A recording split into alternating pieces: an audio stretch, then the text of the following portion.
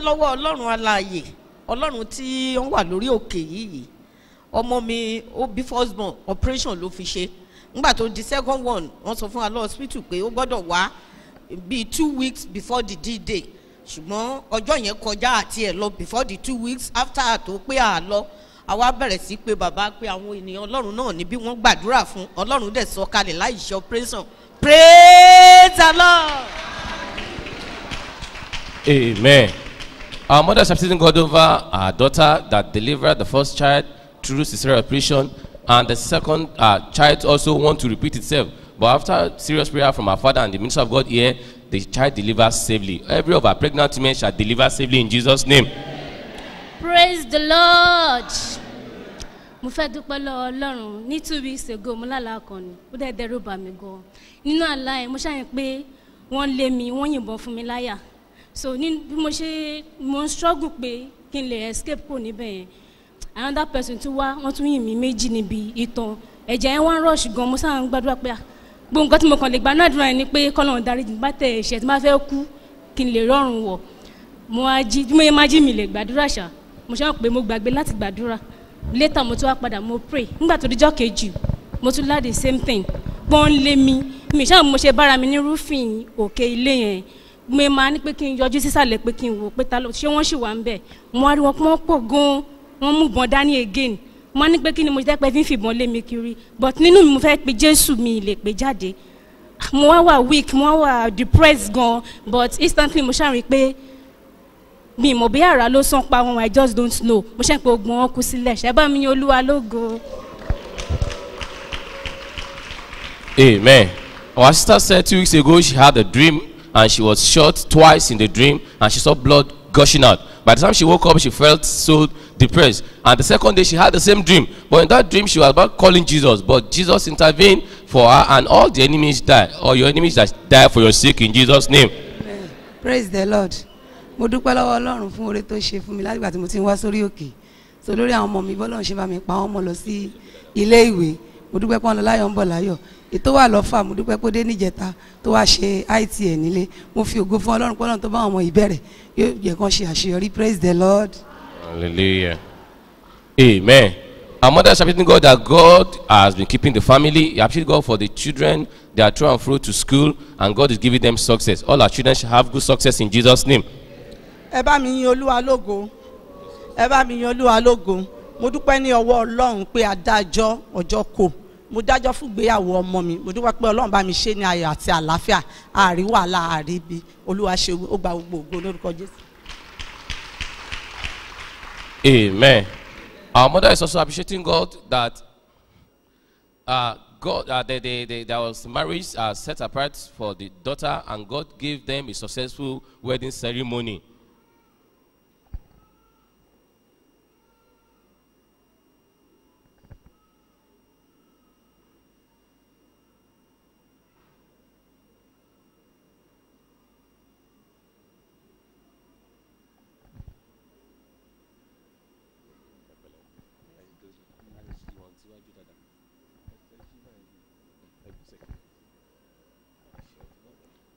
praise the lord living jesus. Mo dúpẹ́ lọ́wọ́ ọlọ́run. Mo tún dúpẹ́ lọ́wọ́ ọlọ́run orí òkè yìí. Mo dúpẹ́ lọ́wọ́ wọn bàbá wa. Mo dúpẹ́ lọ́wọ́ wọn evangelist gbogbo. Àwọn èèyàn mi olúwa ṣeun. Mo mo rí ìdíwọ́ díẹ̀ mo lọ sí hospital. Ọ̀nà tí mo gbà débẹ̀ ò yọ ọlọ́run torí mi ò lè sọ. Jù pé mo bára mi ń bẹ̀ ni. Lílọ bíbọ̀ mi mo dúpẹ́ lọ́wọ́ ọlọ́run. Mo dúpẹ́ lọ́wọ́ wọn dáde torí bí mo ṣe ń ránṣẹ́ sí wọn ló ń dá mi lóhùn. So mo wá dúpẹ́. Ọpẹ́ ni mo bá wá. Pé mo tún rí bíbá ìlénì mo dúpẹ́ lọ́wọ́ ọlọ́run. Ọlọ́run orí òkè kò ní padà lẹ́yìn ẹnì kankan wa. Ọlọ́run ọba lẹ́dùnmarè àtúbọ̀ tì wọ́n wọ́n á ṣàṣeyẹ àtàṣeyẹ. ẹ pàtẹ́wọ́ fún jésù náà yìí màmá wa. amen. our mother appreciating God that she was hosp- hospitalized and she just met herself in the hospital but God be the glory here she is still alive and sharing her testimony. You shall share your own testimony. praise the lord. Mo dúpẹ́ lọ́wọ́ ọlọ́run alàyè mo dúpẹ́ lọ́wọ́ àwọn bàbá wa. Mo dúpẹ́ lọ́wọ́ pásítọ̀ wọlé eh, àwọn dádì àkànní àti mọ́mì. Mo gbé ọlọ́run ga lórí ayé gbogbo wọn torí pé nípasẹ̀ wọn ni mo ti débí mo dúpẹ́ lọ́wọ́ ọlọ́run pé nígbà tí ọmọ mi ṣèyàwó láti èkó lọ sí àbújá wọ́n dénú ilé wọn wọ́n bẹ̀rẹ̀ sí ní gbọ́ negative voice. Ìgbà tó tún lóyún tó tún fẹ́ bímọ wọ́n ní o ti lóyún sí yìí o ó kù bó ṣe fẹ́ bí? After nine months a ṣáà pé bàbá wọ́n dá wa lóhùn. Wọ́n pray fún mo gbé ọlọ́run ga nítorí pé ó ń bẹ láàyè lórí òkè yìí ó dẹ̀ gbé ìyanu ṣe ó bímọ láyọ̀ àti àlàáfíà. ẹ pàtẹ tó dáa fún jésù yẹn. Amen our mother appreciating god for successful uh, wedding ceremony of our, our, our daughter. And after that they start hearing strange voices in the home. The strange voice said then after wedding what will be the aftermath? The aftermath was pregnancy. And after the pregnancy what will be the aftermath? But to god be the glory god of this mountain deliver the daughter safely. Ẹ pàtẹ ó lẹ́ẹ̀kan sí fún bàbá yìí o. ẹ bá mi kí aleluya ẹ bá mi yin jésù lógo. Mo dúpẹ́ lọ́wọ́ ọlọ́run ìyàwó ọmọ mi olóńgbò àgbé ọmọ kí mi lọ́jọ́ sátọ̀dé àfi bó ṣe sọ fún mi pé tó bá di wíyé di aago méjìlá ló máa kúrò nílé. Mo bá retí títí títí tá aago méje fi lù láti ìkòrò láti wájú kòròdú débì. Mo bá bẹ̀rẹ̀ sí gbàdúrà. Mo dúpẹ́ lọ́wọ́ ọlọ́run ó ní wọ́n gbé òun dé ìpájà ń bí kó tó rẹ̀ sọ pé àwọn náà pàjá ìyànà pàjá ló ń lọ. Lọ́wọ́ ṣẹ̀ṣẹ̀ máa fi mọ́tò gbé dé ìyànà aboru mo yin ọlọ́run lógo ọlọ́run tí ò jẹ́ ń sunkún tí ò jẹ́ ń dáràn ọmọ ọlọ́mọ ẹ bá mi yin jésù lógo. Amen. Our mother said that the, the, the sister-in-law, the wife of the son, won't come to greet her from Ikorodu to here. She missed her way. But to God be the glory, God located her and gave her uh, Johnny Mercy. Yes, ma'am. ẹ bá mi kí aleluya ẹ bá mi yin jésù lógo ìdí ìyìn lógo mi ni pé ìyàwó mi lọ súpò lóyún ó bí láyọ̀ àti àlàáfíà gbóhùn ọmọ agbọ́ tí ìyá ẹ bá mi sọ pé jésù ó ṣe o. Uh, amen. Our mom is appreciating God over the, uh, the daughter-in-law that went to pregnancy and she delivered safely.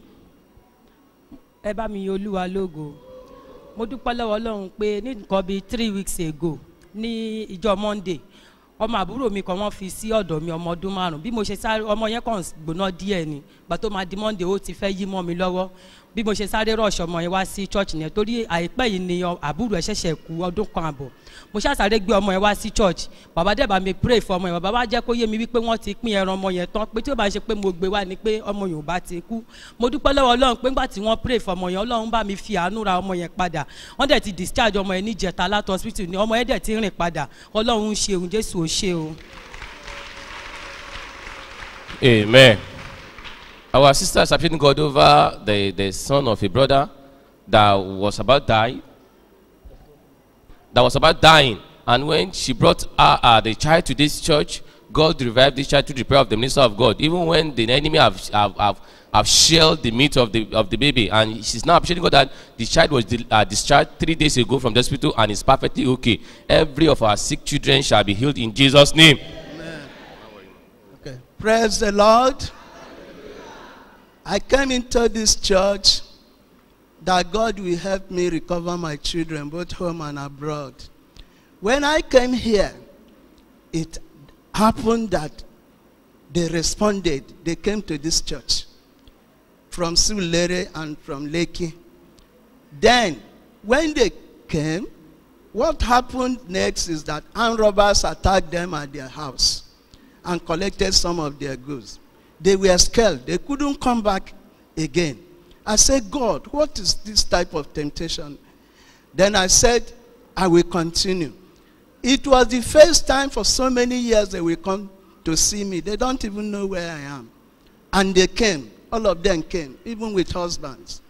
So when they came to see me, they now say they will now take me to go and live with them. The ones at Lekki said they will take me. The one at Sulere said no, they are the senior, they will take me. They started quarreling about it, and I told them no, stop. I will remain how I am until things are amicably settled. So they now find a house for me. I was surprised that where I will get this accommodation is at the back of this church. I said, ah, God, Is that you? You are talking to me. Then, what I decided to do is that even before I concluded, along this line, one of my twin daughters, he got the, the first child was a boy, very well delivered. The second child, he got operated. He got into the third child, which about just a month now. Then I was praying and said, I don't know whether they are going to operate her again, but she delivered safely. Then, for these children now, they have never given me anything, but they now supported me in this accommodation, which means that God has turned their heart back to me now. So, what I'm saying is that I now decided that today I will go back and appreciate God. That is why I'm back to this church today. I'm grateful to God. Praise the Lord. Ẹ jẹ́ àpàtọ́ tó dáa fún bàbá yìí o. Kò dẹ̀ dáa tó látàárọ̀. Ò dẹ̀ pa dáadáa. Amen. Àwọn bàbá dúpẹ́ lọ́lọ́run pé láti bí ọdún díẹ̀ sẹ́yìn gbogbo àwọn ọmọ àwọn ní ilẹ̀ òkèèrè àti ní ilẹ̀ yìí wọ́n pa àwọn tì. Ṣùgbọ́n nígbà táwọn wá sínú ìjọ yìí àwọn gbàdúrà pé olúwa ohun kan tí mo fẹ́ kó ṣe fún mi ni pé bá mi dá ìkólọ mi padà. Gbogbo àwọn ọmọ mi tó pa mí tì yìí kan wá mi rí. Nítòótọ́ olúwa gbé gbogbo wọn wá. Wọ́n wá bàbá rí àkọ́kọ́ tó kọ́ farahàn nínú ilé ìjọsìn. Nígbà tó ń padà délé sátani gbé ìdánwò dé. Ó lè bẹ̀ wọ́n wò ṣùgbọ́n ọlọ́run ò jẹ́ kó gbẹ̀mí wọn. Lẹ́yìn èyí bàbá tó kò ń fún ní nǹkan kan tó ń fún lówó tó mọ bó ṣe ń jẹ bó ṣe ń mu wọ́n gba ilé fún kò àtúnṣe ilé nìkan. Lẹ́yìn ṣọ́ọ̀ṣì náà tún gba ilé fún wọn sí. Ọlọ́run yóò fìrè wa ọ̀rí